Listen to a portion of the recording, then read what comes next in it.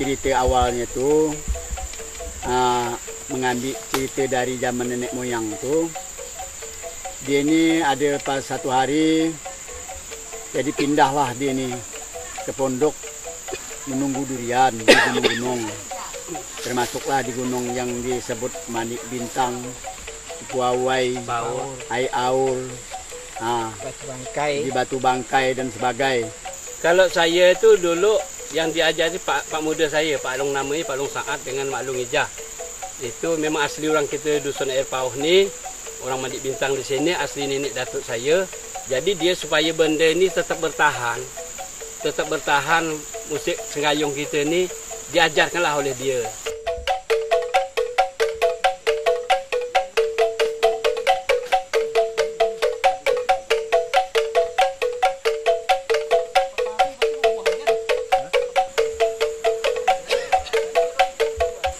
Jadi lama-lama menunggu durian ni tidak ada yang sambil-sambil memungut buah durian gugur sambil mengerjakan buah durian ini tadi yang dibikin tempoyak lah, yang dibikin lempok sebagai itu. Jadi tidak ada Pemain yang permainan yang lain. Cuba-cuba dia ni lain membuat membuat senggayung gitu dari bambu.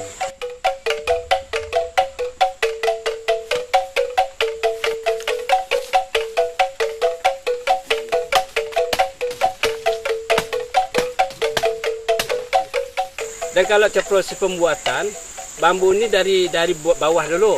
Kita bikin tu bukan dari puncak dari bawah, dari anak dulu.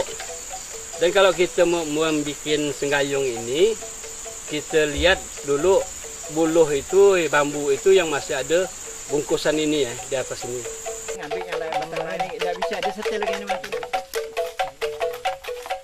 Diambil lah parang, turun ke tanah.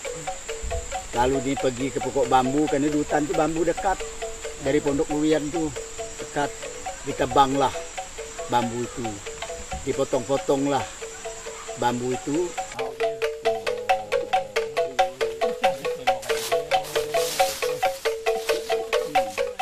Bungkusnya itu kita lihat kalau kelopaknya itu udah udah agak membuka gitu, ininya masih kuning itu boleh kita ambil. Dan ini harus kena sinar matahari supaya dia ini tidak geluk bunyinya, tidak tidak sumbang, tidak lembut bunyi gitu.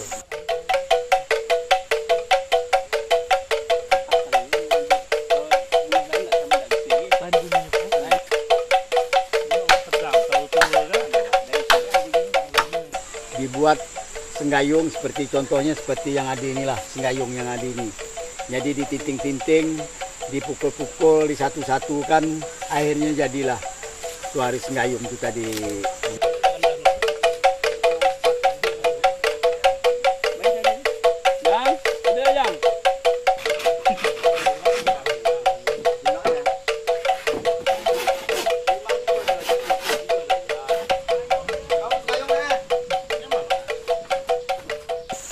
Makanya kami benda ini mau kami istilah pertahankanlah kebudayaan seperti ini. Kerana adalah peninggalan nenek datuk kami. Tak adalah main zaman dulu pemain musik kan tak ada bang.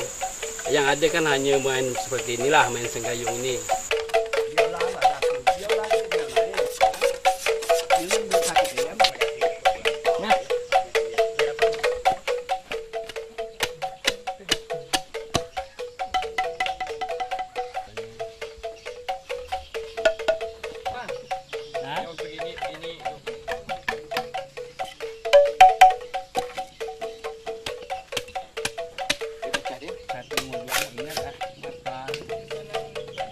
Jadi dia ini membuat satu, membuat lagi dua, membuat lagi tiga. Sebenarnya dia ini empat pasang. Ha, dipanggillah kawan tu. Kawan yang dekat-dekat. Kerana pondok durian zaman dulu tu seperti gini kak, dekat-dekat. Cuba kita cuba. Kita satukan. Ya. Sebenarnya senggayung ni. Seperti apa. Jadi dipukul-pukul, dipukul-pukul. Jadi, ya jadilah sebuah senggayung tadi itu. Pukul itu nyatu nampak itu. Jenis senggayung ni yang pertama ni ini namanya yang pertama ni anaknya yang nomor dua tu induknya yang nomor tiga tu kaulnya nah kalau kita sampai empat orang main itu itu ada kaitnya Hmm, tapi kalau Puan Fa suara ini di laut sikit. Kan, Bah? Ini yang banyak ni menyetel ini. menganuk tu. Gitar bat. Ini kalau istilah ke pemain musik ni ini bass ya. ya. Ini pelodinya, ini gendangnya. Pelodi sesuai dengan gendang diiring dengan bass. Akhirnya terjadilah suatu ah, nada persatuan nada itu. Masing-masing memikirkan pukul ini, pukul ini, pukul ini. Dia menciptakan pukul ini apa namanya gitu.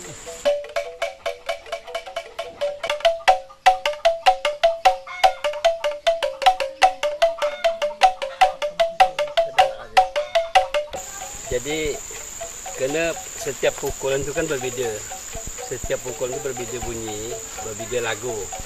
Seperti yang kita moga itu tadi kita waktu mau nebas durian itu kan santai kita ni mau nebas durian ni pergi nebas durian jadi pukulnya seperti ini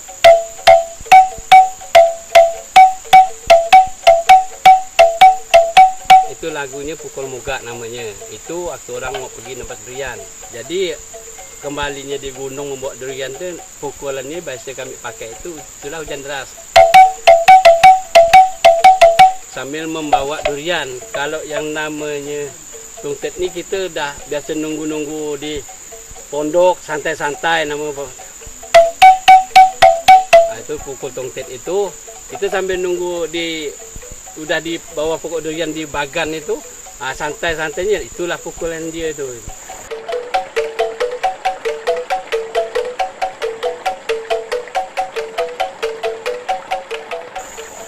makanya nama lagu-lagu ni berubah-ubah lain-lain gitu. Sesuai dengan fungsi. Kita kan biasa tengah hari tu nganggur melihat buah. Karena lihat buah banyak tu oh ni lagu ni timbang buah.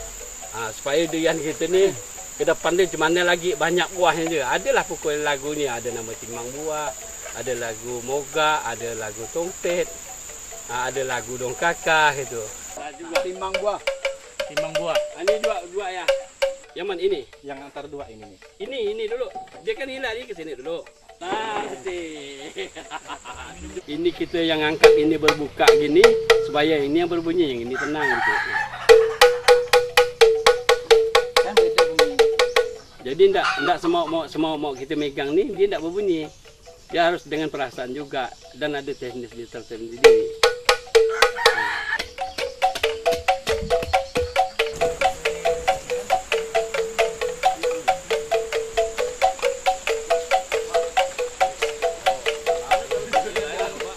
Jadi kalau untuk nyetil yang ter- terakhir ini kita dari awal ini dari yang nomor satu ini dari yang satu itu nyetel ke yang nomor dua nih. Udah itu dari yang nomor dua mukul ke yang nomor tiga ini. Nomor tiga nih. Nyetel nyetelnya ke nomor tiga. Jadi cocok bunyi. Burutan dia bunyi. Jadi yang nomor tiga nyetel ke yang nomor empat. Yang nomor empat ini ya. Kan beda-beda kan? Nah, jadi yang nomor empat nyetel ke yang nomor lima pemukul yang terakhir ini. ya. Yang nomor lima ini nyetel ke yang nomor enam. Nyambung beda. Nah, itu nadanya. tu. Makanya kalau beda Ini bambu, dah samanya bunyi dah sama kemauan kita ukuran dari 1 sampai 3 dah sama dah bagus. Tingkatannya barulah kita selesai membuat ini.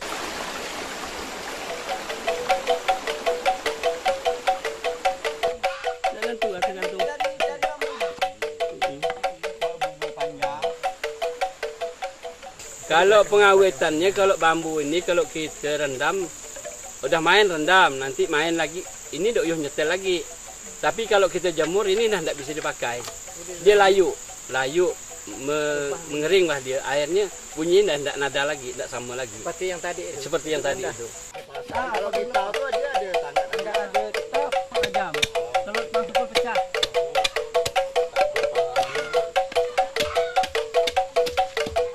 Jadi orbit Sengayung ni sebenarnya orang-orang gunung sini em yang main tu. Maka tak sampai Dari sekarang dari ni, zaman nenek moyang. dari zaman nenek moyang. Itu cerita dia ni. Sampailah sekarang Sengayung ni bah. Jadi yang asli sebenarnya pandai main Sengayung ni di daerah Sekudan ini pertama daerah Senek, daerah air pau air pau Mandik Bintang ini ha, juga di daerah Sedahan dan daerah Pampang Harapan. Itu tiga tempat. Tiga tempat ada.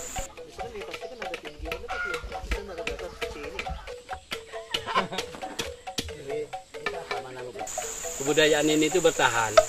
Bertahan sampai ah, seperti ini saya.